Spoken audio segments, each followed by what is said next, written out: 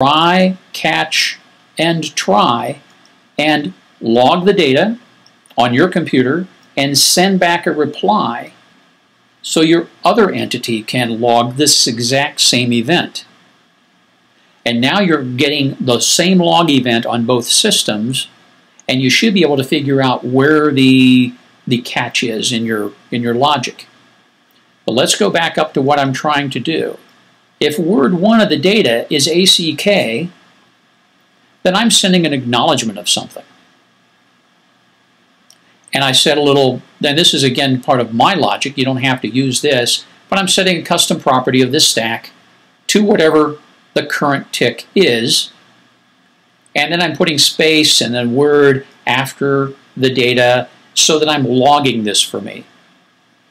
So if it's not an acknowledgement, I just go ahead and stuff the data. I just go ahead and, in this case, set the previous ticks to whatever the number is. This way I can tell how the turnaround time is working between these two computers, whether they're in the same city or across the country. But I am handling an incoming packet with these three parameters, one of which is the data that was sent. Now, at the end, no matter which one of these two open reply, open reply, I'm doing the little maintenance by close the socket because that's going to keep me running better. So this is my entire receive a packet, do something with it, and send a reply back to where it came from and close the socket so we don't have these extra ones floating around. Hopefully this makes some sense at this moment. And the mylog is a handler which I'm going to show you right down here. I know we're getting close to the end of this demonstration here, but I'm going to give you a few more line breaks here. Come on, come on, come on. There we go. All we're doing is saying we want to put this into a header or into a into a place where we can keep track of these events. Oops, it's still going to go. There we go. We got it up there. And it's formatted for me to go back and check, did things happen the way, and the way I wanted them to. Now you see here I'm using my global zdata append. What's nice about the global in this case is both of these stacks can update the same global, and as they tuck information in, I can see which happened first, second, third.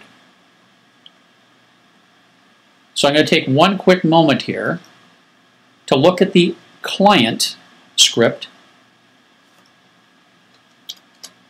and you'll see it's very similar.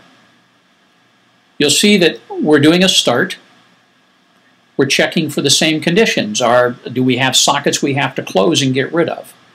We're going to do a reset. We're going to wait. Then we come down, and what we're doing in this case, instead of listening, we're sending. So what we're doing is opening, and I'll open it up here, a datagram socket and sending a message. In client mode, you basically want to figure out what to send to the server, and the server responds. It either stores data, collects it, it relays data, reformats it. It may even send back a report because you're asking for what's happening in the other computers.